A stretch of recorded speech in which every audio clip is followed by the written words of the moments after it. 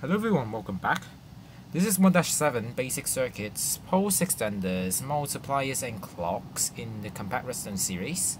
I'm Immune 2022 and as the title suggests, we'll talk about pulse extenders, multipliers and clocks. And for the clock section, I'll also introduce uh, uncontrolled clocks and controlled clocks, both of them. So without further ado, let's get started. So what do we define as a pulse extender? Well, it basically refers to circuits, uh, a circuit that extends the pulse length of the input pulse. So very simple. So here we see sort of an example for this. I will show a lot of circuits related to these. So the first one is just simply using an additional repeater here and we have a stone button here. So this redstone dust will turn on this lamp. This four tick will also power the lamp. And this means that this entire circuit will extend the powering of the redstone lamp by four tick due to this four tick repeater. Like so. So if I remove the four tick, it, it would turn off a bit faster. If I place it back, it will turn off a bit slower. So that's literally a very simple pulse extender. Another one, well, you can chain repeaters, of course. So here I use a wooden button instead because of the delay. So it works. And yeah, by chaining these repeaters here, so you just add four ticks for each repeater at maximum. You can obviously adjust the delay if you want to but then here I will just use four tick to demonstrate the effect clear. So yeah, and just to make sure, you need to have your input pulse to be longer than a, wooden, a, a stone button because here you have one tick here, but then here you have 12 ticks in total. So there is a delay of 11 ticks, so a stone button wouldn't be able to cover the delay, but a wooden button would. So yeah, uh, make sure that you have enough input pulse length for your delay circuit if you're planning on using repeater chaining. Another method, well, we can take from a short pulse actually, we don't necessarily have to take from a long pulse like a stone button or wood button, which might in some cases be a bit more impractical. Here's a more practical one. So for example, we can take a forward repeater pulse and then we just send it through two four tick repeaters with a chain like this and then with a redstone dust just being powered by all of these three four tick repeaters. This will also power the lamp and it's still a pulse extender as a result. So yeah, uh, the reason for having this four tick to power this redstone line is of course because this four tick repeater will only power this redstone line for four tick. So we need this four tick to immediately power this redstone line to continue the powering. Or else, if say we have this instead, then you see it will turn off and turn back on again. So that's not what we want. We want the pulse to be consistent. So yeah. And let me introduce a more special one. This is probably a bit more popular. This is a pulse extender using comparators. It works by using the decreasing signal strength. So when I press the button, you see turns on, and for a brief moment it will turn on and turn back off. So yeah, and you can also notice that these two lamps turn off at different times. That makes sense because this redstone dust turns off later than this redstone dust because this redstone dust receives one less signal strength. So this lamp is supposed to turn off faster than this redstone lamp. You can always analyze this uh, a bit more in detail yourself but uh, I'm just going to tell you the results here. And it can also be better demonstrated here. And you can see that first off what the difference between this one and this one is that this uses 4 dusts here while this uses 3 dusts. So the decreasing in signal strength only occurs in these two redstone dusts. While for this setup, it has these two redstone dusts as well as these two redstone dusts. So you can expect that this pulse extender is going to turn off faster than this one. Moreover, where you input the uh, for, for the pulse extender is also deterministic because if I input it from here, you can see this turn off and then this turn off. And while I input it from here, not only is the pulse shorter, but both will turn off instantly. Well, not instantly, they will turn off, turn off at the same time. So yeah, uh, you basically have to make sure whether if it is your preference to have a shorter pulse, shorter extended pulse, or not. And you also need to check which input position you want to have your pulse extender as. So yeah, just some minor details. Although uh, I don't think it's quite important for starters, but then it's important to uh, know that I guess it, when you get to a bit more advanced in redstone. But yeah, anyways, uh, let me show more. So this is a modified Etho Hopper clock. So you, why is it uh, modified is because uh, for a regular Etho Hopper clock, you would have both these two pistons as sticky pistons. But here I just use one sticky piston and, and another one as normal. So if I flick this here, you see it does that. And then after a while, it will push it back and then retract. And then this will turn off. Now, the pulse length determine, uh, is determined by how many items you place in the hopper. So if I say going to place four items, then this is going to be a shorter pulse. You can already see that. So yeah, you can obviously fill it to the brim, but then not going to waste time on that. So yeah, and um, each item is going to add uh, in this setup uh, uh, eight eight ticks, and you can also notice that you can also take an output from this redstone block actually. This will half the pulse length. So each item you add will only add 4 6 as a result. So yeah, um, another technique you can use is sand because sand, uh, well, the second one, like after the first sand falls, the second one will have a delay before falling and also for the third one. So the accumulative delay actually makes sand a good pulse extender. So this is a one tick and then you can see this is going to power more than a one tick. You can verify this by having this as a sticky piston and if it's a one tick it should spit out the block but here it doesn't so it definitely has an extended pulse so yeah these are some of the basic pulse extenders. Now, I'm not going to say that you're going to use them for a lot, but then it's still sometimes useful in some occasions, although mostly we are going to rely a lot more on short pulses rather than needing to extend long pulses.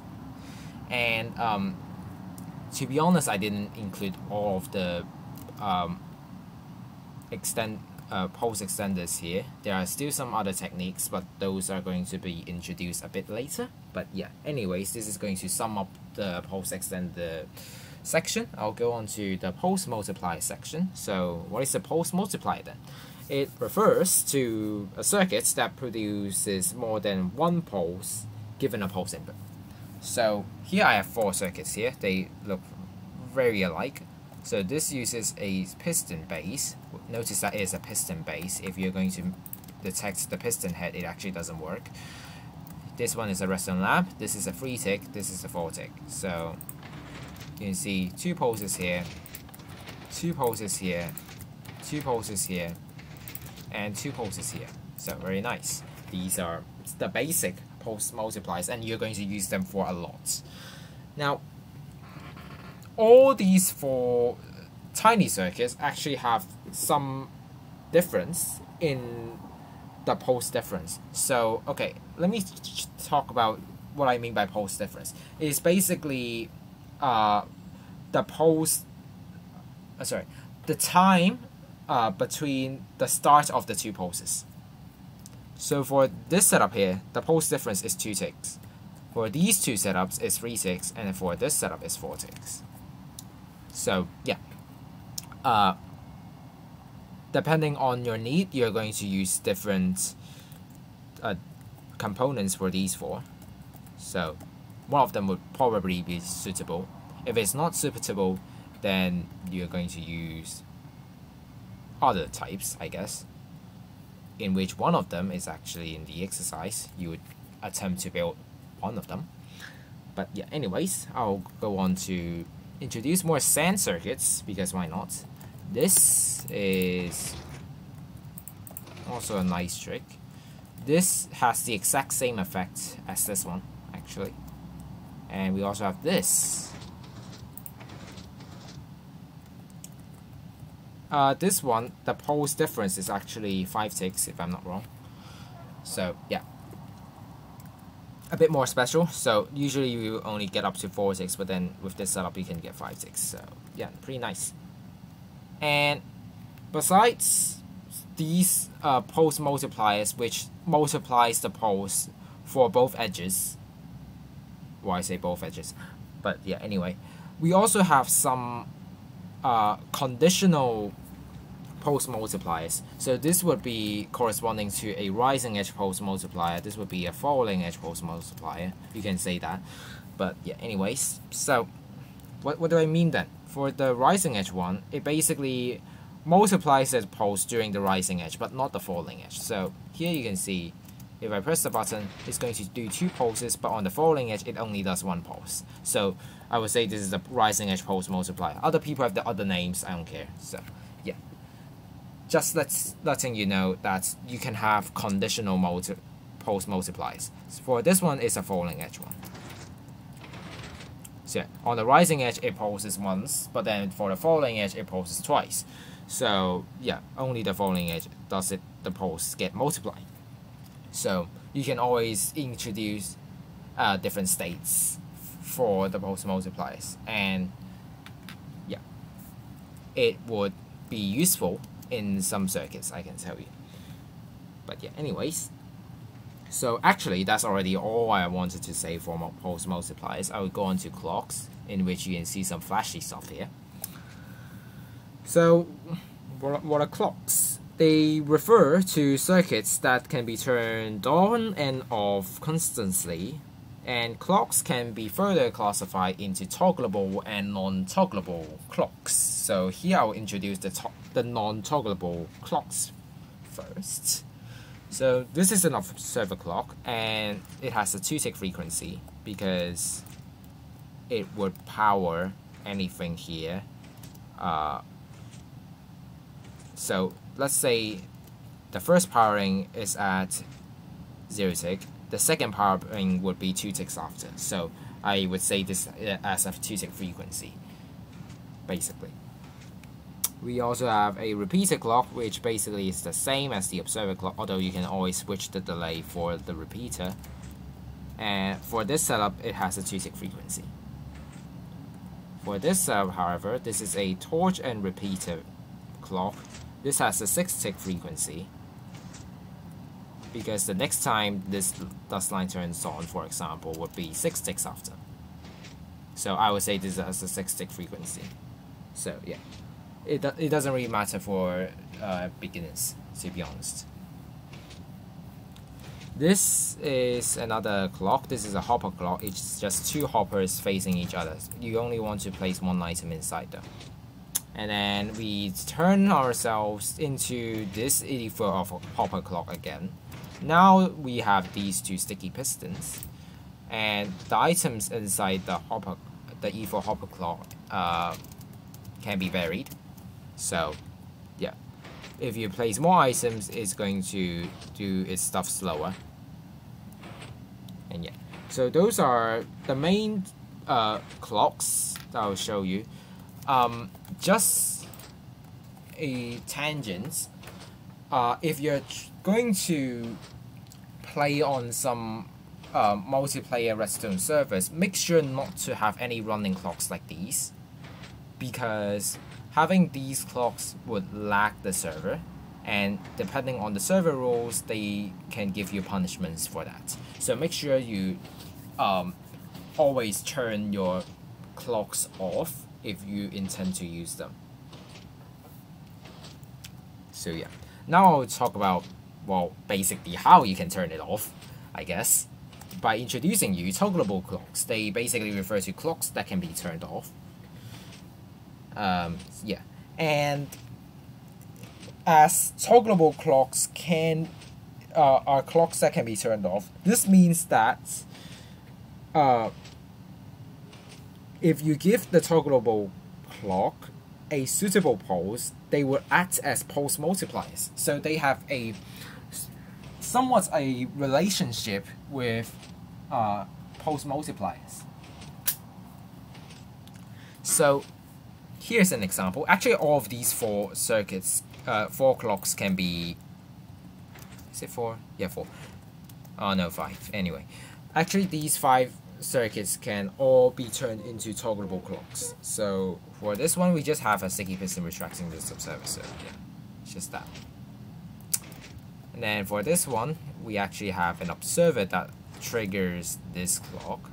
And then we also have a sticky piston that retracts the block such that the repeater cannot power this piston thus. So just like this.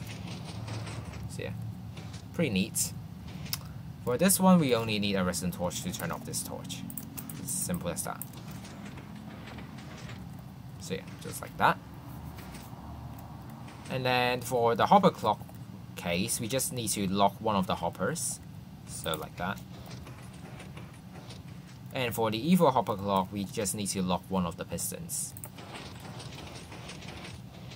Now, uh, I can tell you that this is not the way you use Etho hopper clock because Etho hopper clock is usually used in some other cases.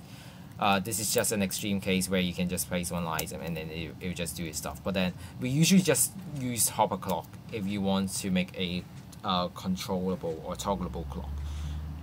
So you might ask, when do we use a Etho an Etho hopper clock? Well, there is.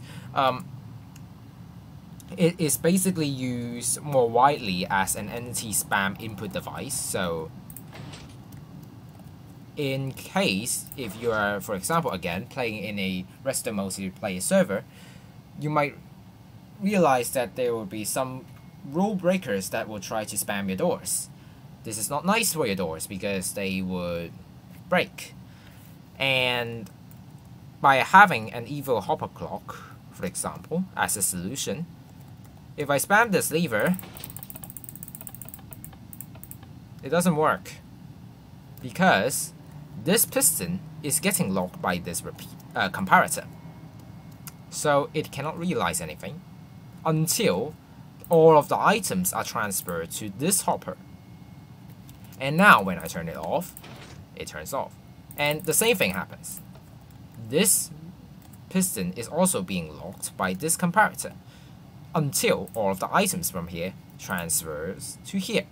So that is the how how the Etho hopper clock functions, I guess.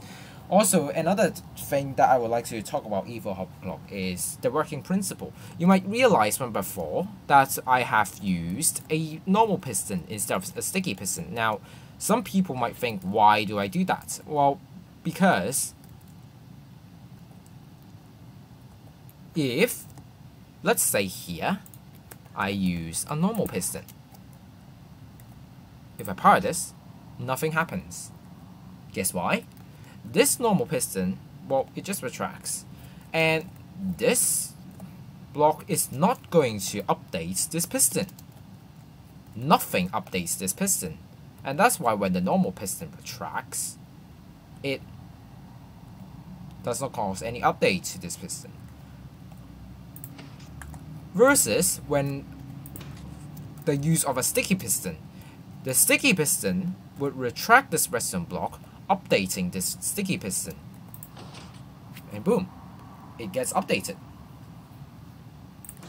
So that's why we use two sticky pistons if we, if we wanted to clock. And we use one normal piston on one side if we just want to uh, have a long pulse, so a pulse multiplier basically. So yeah hopefully you understand a bit more. And again, uh, as same as the previous video, I'm going to tell you that there are some useful resources that you can refer to. It's the Minecraft Wiki's uh, redstone circuits or pulse page.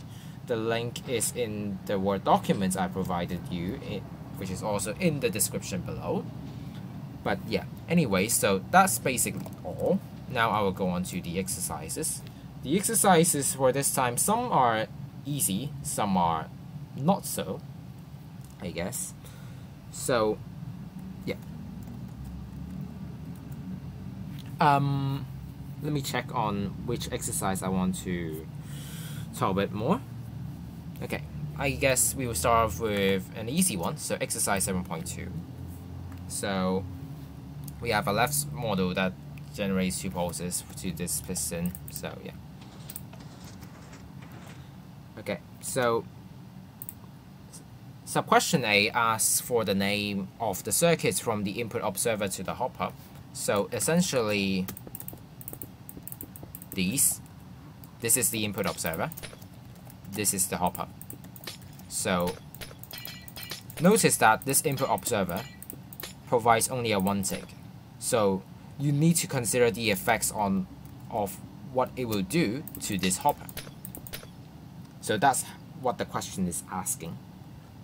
The second question is um, to state the name of the circuits from the input observer to the piston. So we are basically considering the entire circuit to this piston. So notice that this is an this is an input observer which only generates one pulse. You need to consider the effects to this piston and to answer the question correctly, I guess.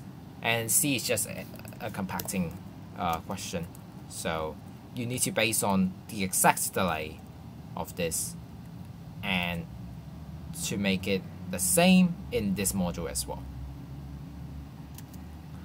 So that is the uh, for ex exercise 7.2. And then uh, okay, I will talk a bit more about exercise 7.4. 7.4, actually both 7.4 and 7.3 require some analytical skills, which isn't actually too complicated because I would guide you through by using the sub-questions. So I'll, I'll just take exercise 7.4 as an example. So we have Etho hopper clocks, yay, because I like them. So we see that the left module has 18 snowballs and 2 cyan wool. The right module has 23 snowballs and 2 cyan wool. So uh, the left corresponds to 4 signal strength, right corresponds to 5 signal strength. So A is just similar to exercise 7.2, not going to mention too much about that.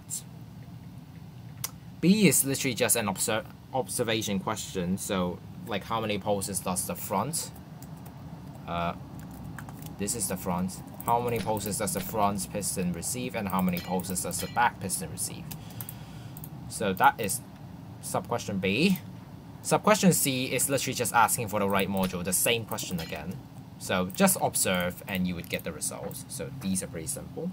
And consider both modules now. So this is just asking the general trend. So how does the signal strength correlate to the number of pulses received by the pistons?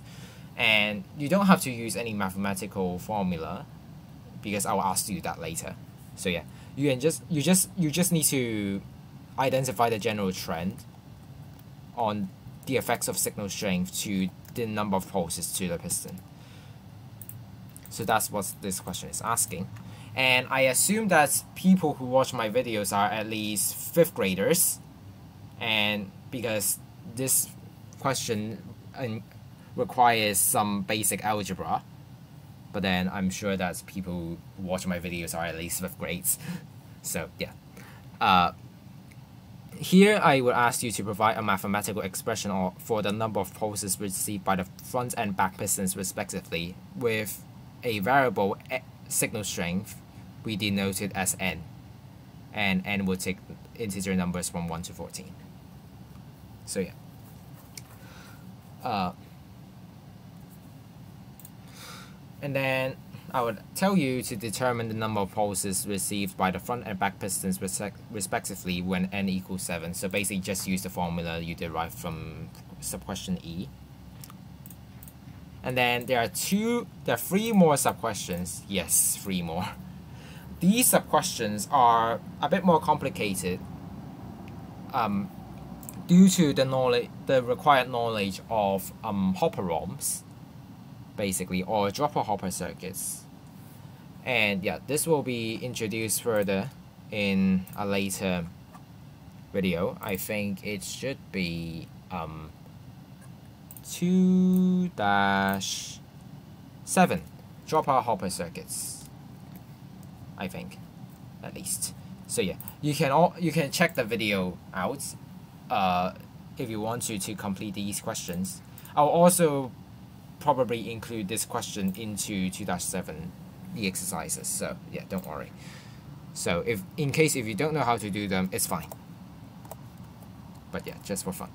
And yeah uh, this also quite frankly has the most sub questions out of all of the exercises. Nine sub questions yes I like it and then let me see if this one has yeah okay so this one is, is also a bit more challenging unless you are very experienced and you already know what you're doing. Otherwise, you're going to do a lot of trial by er trial and errors.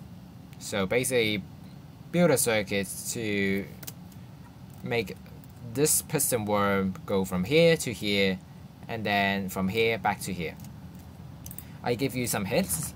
The hint is that the circuit requires 8 pulses to work, and one of the possible solutions is to use toggleable clocks and make sure the frequency allows the sticky pistons to reach position A and go back to the original position. And I can tell you a bit more, you want a faster clock.